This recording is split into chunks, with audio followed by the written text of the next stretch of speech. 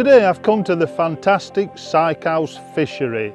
It's close to Thorne near Doncaster and this is a real mecca for carp fishing.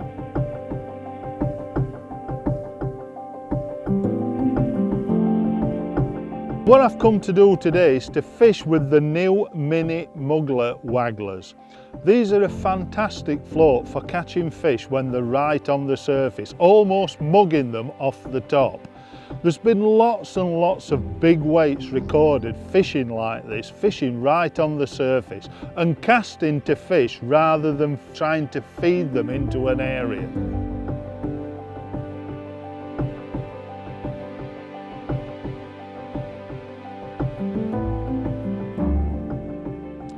Now how I've actually set these floats up is with the new Waggler weights. These are all printed up with the size of the actual weight on the shot itself and coated with a, a light green colour. So what I've done, I've put two float stops onto the line and then added a one gram Waggler weight.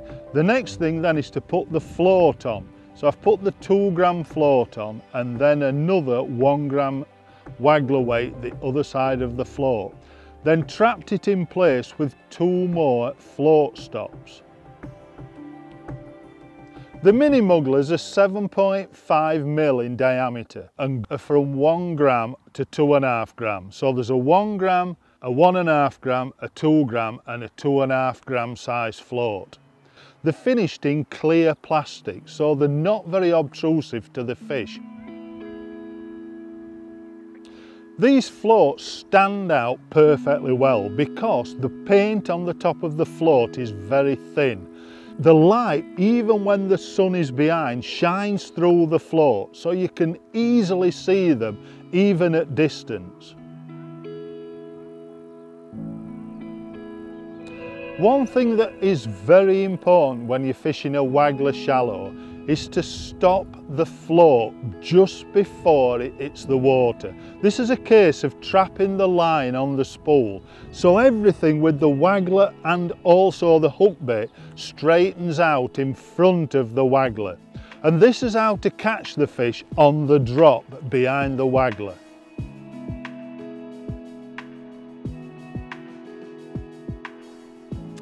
The key today is to be feeding regular, feeding constantly with 6 mil pellets, but only about 5 or 6 pellets at a time, constantly making some noise on the water.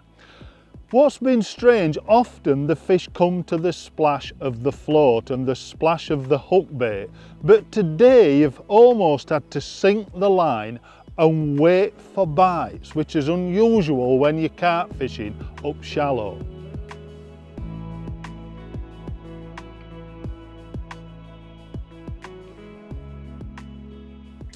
As I've said, feeding is the key, but also being accurate is also a big thing.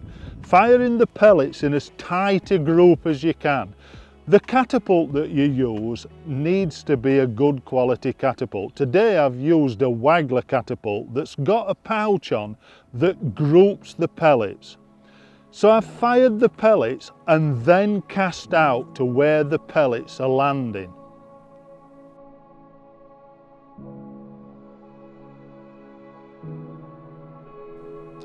Today I've actually set up three rods with different sizes of float so I could chase the fish around.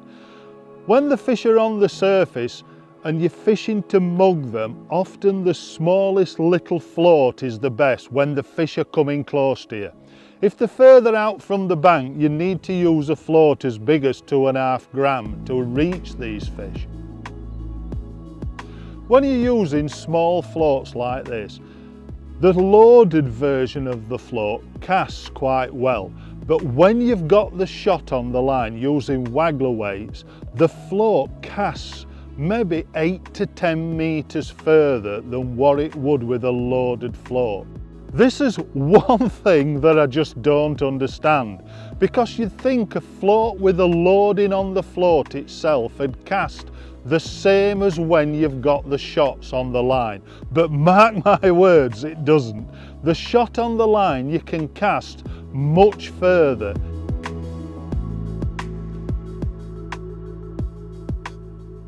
It is so easy with this setup to actually change the depth and chase the fish around through the layers.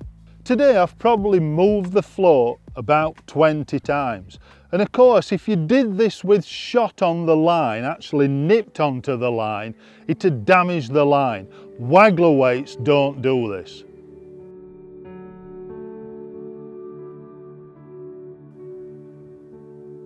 I've tried two different types of hook bait today. I've used sixes just in a natural coloured pellet and I've also used some red pellets. When you're fishing shallow, a red pellet stands out and sometimes you can get bites on this bait when you can't on others. There's been lots and lots of competitions won catching carp, mugging them on the surface with a pole. But of course, a pole's great when you can fish up to 16 metres and swing out to the fish. Once the fish move out past the pole line, these mini muggler floats will allow you to catch these fish that are out past that distance. And I'm sure that there'll be lots and lots of times when they'll help you to win matches through the summer months. These mini muggler floats are now available in all Drennan Stockists. Once I worked out that I had to wait for bites today, I've caught really well at the back end of the session and it's been another great day at Sykehouse Fishery.